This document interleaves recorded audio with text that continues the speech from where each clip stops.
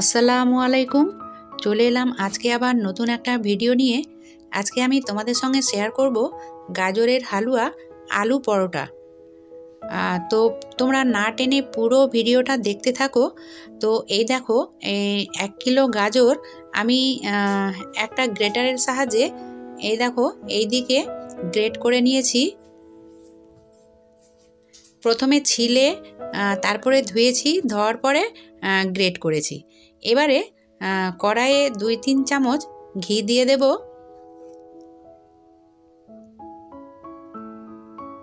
ঘিটা গরম হয়ে গেলে গাজরকে কিছুক্ষণ ভেজে নেব। তাহলে গাজরের হালুয়ার মধ্যে মানে গাজরের কাঁচা ভাবটা থাকবে না। এইভাবে ঘি দিয়ে অল্প ভেজে নিলে কাঁচা ভাবটা থাকে না। মানে একটা কাঁচার ঘ্রাণ থাকে সেটা ভালো লাগে না।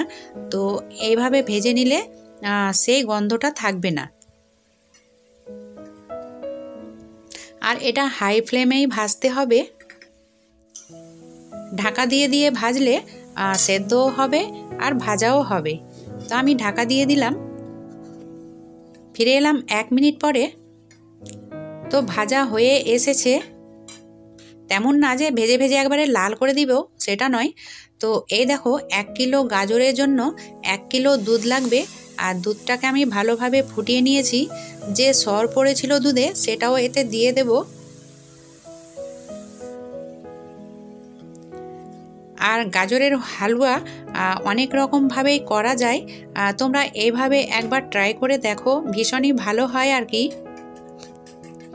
দুধ দেওয়ার পরে কিছুক্ষণ নাড়াচাড়া করে নেব। আর হ্যাঁ তোমরা যারা আমার চ্যানেলে নতুন দেখছ কিন্তু এখন পর্যন্ত সাবস্ক্রাইব করনি তোমরা যদি নিত্য নতুন ভিডিও পেতে চাও তাহলে কিন্তু এক্ষুনি সাবস্ক্রাইব করে নিতে হবে। আর শুধু সাবস্ক্রাইব করলে হবে না, পাশের যে বেল আইকনটা রয়েছে, সেটাতেও প্রেস করতে হবে। তারপরে যখন অল আসবে, সেটাতেও ক্লিক করতে হবে। তাহলে আমি যখন ভিডিও আপলোড করব, সঙ্গে সঙ্গে তোমাদের কাছে নোটিফিকেশন পৌঁছে যাবে। তো যাই হোক, এবারে দেখো কিছুক্ষণ নাড়াচাড়ার করার পরে এটা ঢাকা দিয়ে দেব আট থেকে দশ মিনিটের জন্য। ততক্ষণ আমি, পরোটার জন্য আটাটাকে মেখে নেব। তো আমি এখানে গমের আটা ব্যবহার করব। তোমরা চাইলে রুলি ময়দা দিতে পারো। তো আটাতে আমি স্বাদ মতো লবণ দিয়ে দিয়েছি আর দিয়ে দিলাম সাদা তেল দুই চামচ মতো। এবারে তেলটাকে ভালোভাবে আটার সঙ্গে মেখে নিতে হবে। তারপরে জল দেব। তো এটা জল নিয়েছি, কুসুম গরম জল। কুসুম গরম জল দিয়ে আটা মাখলে আটাটা তাড়াতাড়ি নরম হয় আর কি। তো এভাবে আটা মানে কুসুম গরম জল দিয়ে আটা মেখে নেব। আর যারা অলরেডি সাবস্ক্রাইব করে নিয়েছো আর ডেলি আমার ভিডিও দেখো, তাদেরকে আমার দিক থেকে অনেক অনেক ধন্যবাদ ও ভালোবাসা রইল। তোমরা এইভাবে আমার সঙ্গে থেকো। আটা মাখা হয়ে গেছে। চলো এবার এটা সাইডে রেখে দিই। হালুয়াটার দিকে যাই। তোমরা হয়তো একটা জিনিস লক্ষ্য করেছ, আমি কিন্তু এখন পর্যন্ত চিনি ব্যবহার করিনি। এবারে চিনি দেব।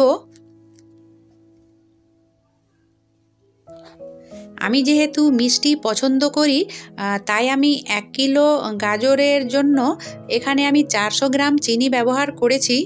তোমরা কম বেশি করে নিতে পারো। মানে যে যেমন মিষ্টি খাবে তেমনভাবে চিনি ব্যবহার করে নিতে পারো। আড়াইশো গ্রাম চিনি দিলেও হবে। কিন্তু আমার একটু মিষ্টি বেশি চাই, তাই আমি চারশো গ্রাম চিনি দিয়েছি।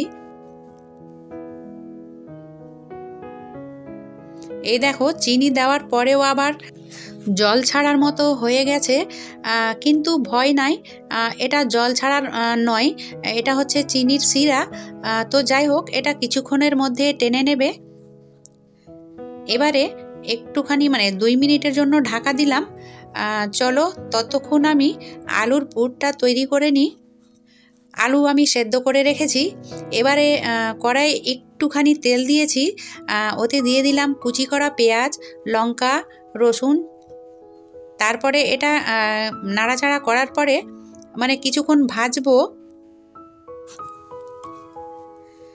তারপর দিয়ে দিয়েছি ওতে সেদ্ধ করা আলু মানে আলুটাকে আগে সেদ্ধ করে নিয়েছিলাম। তারপরে শুকনো মশলার মধ্যে দিয়েছি গোলমরিচ গুঁড়ো শুকনো লঙ্কা গুঁড়ো তারপরে একটুখানি জিরে গুঁড়ো, ধনে পাতা কুচি ওইভাবে আলুর পুরটাকে তৈরি করে নিয়েছি। এবারে চলে এসেছি হালুয়ার দিকে। এটাও হয়ে এসেছে। এবারে লাস্ট যেটা করব সেটা হচ্ছে এখানে দিয়ে দিলাম এলাচ গুঁড়ো, ছোট এলাচ গুঁড়ো, আর দিয়ে দেব কিছু কিশমিশ আর কাজু।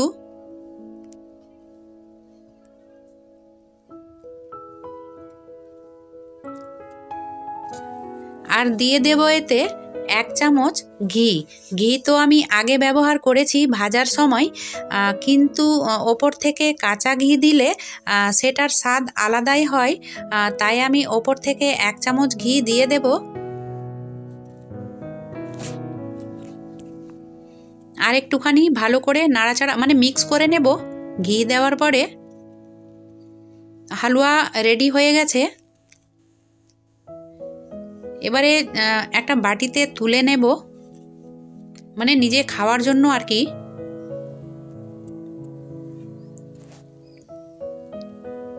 তারপরে চলো, পরোটাগুলো তৈরি করে নিই।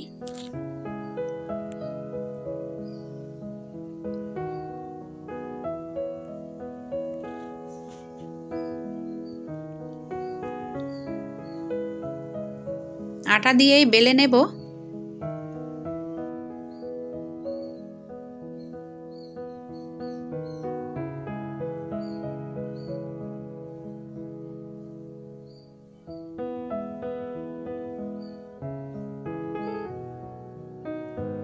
আলুর পরোটা স্বাভাবিক রুটির থেকে বা লুচি পরোটা থেকে একটু মোটাই হবে। কেননা তার মধ্যে আলুর পুর ভরতে হচ্ছে।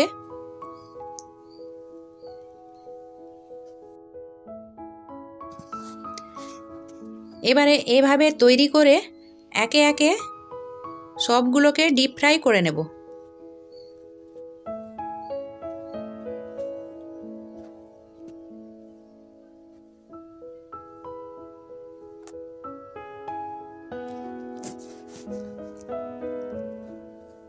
তো এইভাবে বাকি পরোটাগুলোকেও তৈরি করে নেব। তো এই দেখো, রেডি হয়ে গেছে গাজরের হালুয়া আর আলুর পরোটা। আজকের ভিডিওটা তোমাদের কেমন লাগল? যদি ভালো লেগে থাকে তাহলে একটা লাইক দিও। আর গাজরের হালুয়া যদি তোমাদের ভালো লেগে থাকে, তাহলে এইভাবে একবার করে দেখো ভীষণই মজাদার হয়। তো আজকের মতো এতটাই। কালকে আবার নতুন একটা ভিডিও নিয়ে চলে আসব। মানে তোমাদের কাছে হাজির হয়ে যাব। তো এতক্ষণ আমার সঙ্গে থাকার জন্য তোমাদের অসংখ্য ধন্যবাদ। আজকের মতো এতটাই। তোমরা সবাই ভালো থেকো, সুস্থ থেকো।